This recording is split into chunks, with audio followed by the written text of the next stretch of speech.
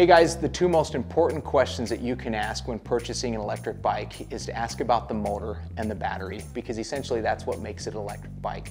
Today we're going to talk specifically about motors. In an electric bike there's two types of motors. There's either a mid-drive motor or there's a hub drive motor. Mid-drives are located centrally in the middle of the bike and hub drives are located either in the rear hub or in the front hub and occasionally you get a motor in both the rear and in the front hub. We sell a bike called the Kodiak. It's an all-wheel drive bike with a 500 watt rear hub and a 500 watt front hub.